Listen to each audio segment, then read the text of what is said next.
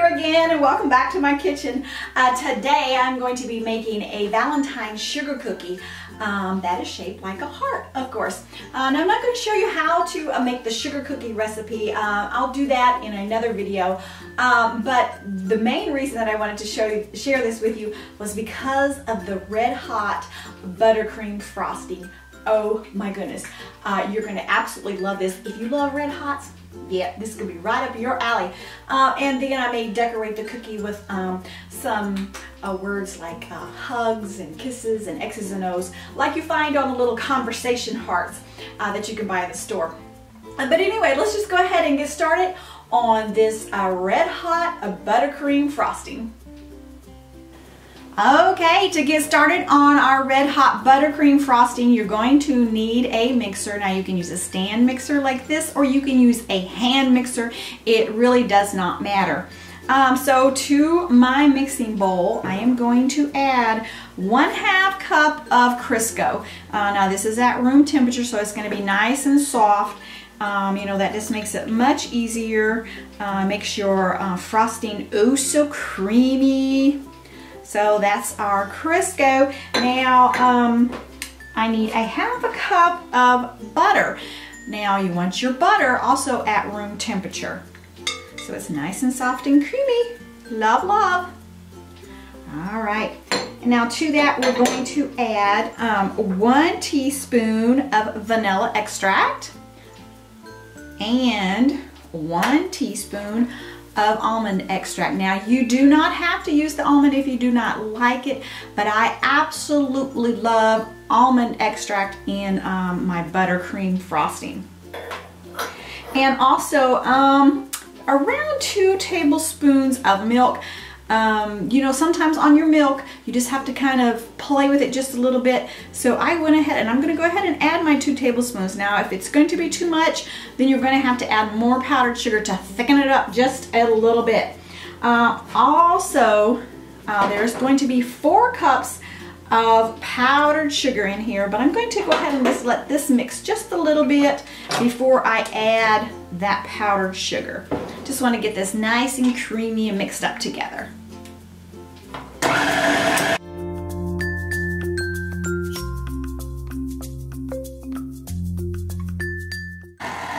Okay, now we're going to go ahead and start adding our uh, powdered sugar. And I just add mine just a little bit at a time and mix it up really good in between each spoonful.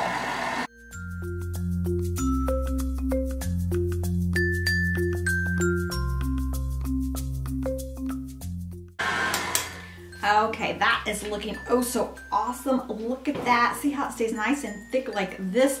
That is what you want. Now here you can taste it if you like and see if you want to add more uh, flavoring like the buttercream or the vanilla. I mean, um, the almond extract or the vanilla. So I'm gonna go ahead and taste it and see what I think. Mmm. Oh my. Oh, yummy. That's pure yumminess. Okay, now to add up the red hots. Now you do not want to leave the red hots whole like this. You want to smash them. Now, when you smash them, you want to go ahead and get them into your buttercream um, you know, right away because if you leave them too long, they're gonna kind of start getting sticky together and all that stuff. So we're gonna go ahead and get ours all smushed. Now I just use a regular uh, bag here and I'm going to put some in there. Now this, uh, the amount is going to depend on your taste, how much, you know, red hot flavor you want in there. So I'm just going to do a little bit at a time and smash them and add them and taste and everything like that. Now at this point, if you do not want um, some of your icing be uh, in the red hots, you might want to take some out, which I am going to dip a little bit out because uh, when I decorate my cookies, I do want some of the white frosting. So I'm gonna take that out and then I'm going to smash these really, really, really fine. Okay, so we've got all our red hots chopped up. Now, if you do not want to smash yours, you know, in a baggie, if you have a food processor, a food chopper, something like that, you can use that as well. It does not have to be uh, the baggie with the hammer. Uh, but anyway, I'm just going to add a little bit at a time and taste it and see, you know, what exact amount of red hot flavor I want in here. So.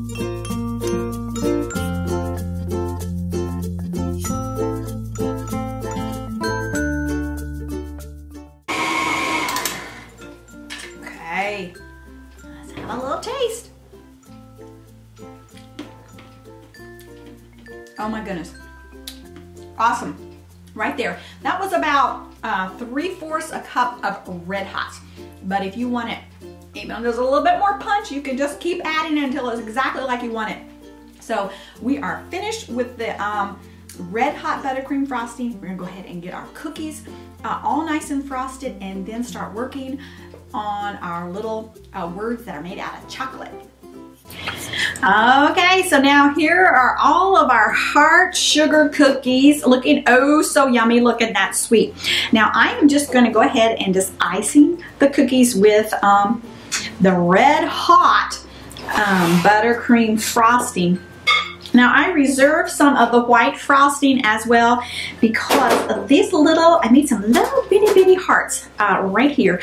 I'm just going to put some white frosting on those and those will sit in the middle. I just made about four of them. I could do four, kind of like a double cookie. So I thought that would be just kind of fun. Instead of um, writing the little chocolate words, I'm just going to have a couple of these, which is a little white heart in the middle. So I'm just going to go ahead and frost in all of these sugar cookies.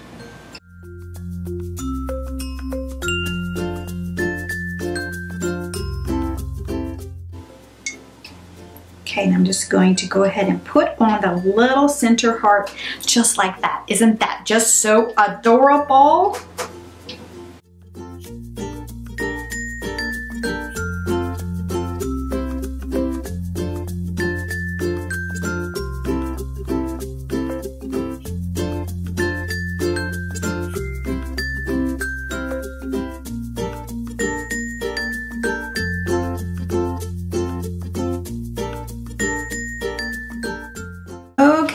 So all of our cookies are all icing and they're looking oh so yummy. Now I wanted to tell you that this icing you can use on cupcakes, you can use on brownies, oh my goodness, on brownies. It is absolutely fabulous. Um, so anyway, you can use this on any other cook, uh, any anything else besides just the sugar cookie. So I'm gonna go ahead and get this kind of cleaned up, and we're gonna go ahead and make some chocolate words to sit on top of our cookies. Be oh so cute. Okay, so um, my chocolate is all melted and I need to go ahead and put it in my piping bag. Now what I use for a piping bag uh, is just a regular uh, Ziploc bag here that I cut just a little bitty hole in one of the corners and slid a decorating tip with a, a little round decorating tip there um, so I can write my words. And I'm just, to get my chocolate into my bag fairly easily, I uh, just drape my um, bag over a mug and all nice and snug down there so that I can just pour my chocolate with right in there almost on top of that little tip as you can see uh, and do not get chocolate all over my hands and all over the bag and just make a huge mess and then that way I can just pour it right in and that just makes it much easier on me now I am sure there are tons of ways that you can do that, but this is just the way that I do it. Just thought I'd pass that little tip along to you. Um, now, to take it right off of the mug. And as you can see, all that chocolate is just all right down in there. So perfect. Oh, it's already coming out of my little tip there. It must have been really, really hot. Okay, so now I'm just going to close that uh, bag up and I can start writing my little words. I'm gonna write words like that are on those little um, conversation hearts like I told you. So you can use um, any words that you want. I'm trying to get all the air out of here because it makes it so much easier when there isn't any air in there. Okay, here we go. All right. Okay, let's see, I'm going to write hugs. Now, you know, this doesn't have to be any certain way. You can make it however you want. There's my H. And then my U.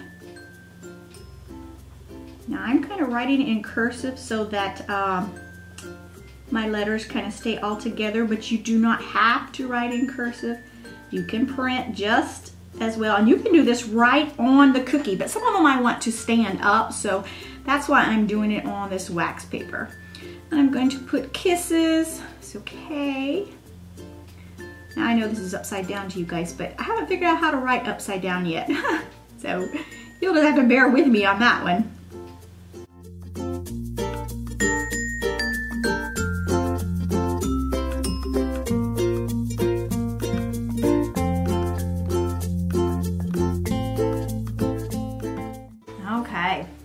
Let's see, hugs and kisses and X's and O's and cutie and sweet. And you can just go on and on and on and make all, here let me kind of turn it so you can see the words. See if that'll help you just see them just a little bit better. I'm gonna let these all cool off and we're gonna put them onto our cookies. Okay, so now all of our little uh, chocolate words have uh, got all nice and hard and now we're gonna go ahead and put them onto our cookies. So here, this one's gonna get hugs. Oh my goodness, how cute is that? And then, uh, well, let's see, we can do an X and an O. X's and O's, how cute. I'm gonna put them down in there just a little bit so that they stay. Like I say, you can put this right on the cookie, but there was a couple of them that I wanted to uh, stand up here. Let's let's see if we can get it to stand up. I don't know if we can get it to stand up. It might not. No, I don't think it's going to work on hugs because it has that. Um, I bet you we can get our X's and O's to stand up. I think that would be a good one to try to stand up. Just I I don't want it standing straight up, but just a little bit like a this. Oh my goodness. Isn't that cute? Okay, that is so cute. So can you see? Let me hold this one up for you just a little bit. Isn't that just adorable? Oh, so cute. Now let's see, let's try to put cutie on one of these. Um, now this one, I'm gonna have to bring my little dot over because it needs a dot on its eye there. Oh, that one's so sweet. I love the little cutie one. Isn't that sweet? Okay, and let's see. We need one that's, I'll bring this cookie over so you can see here. Um, bring kisses over right here. Put it right there. Oh, so adorable. Yay. Love it, love it. And let's see.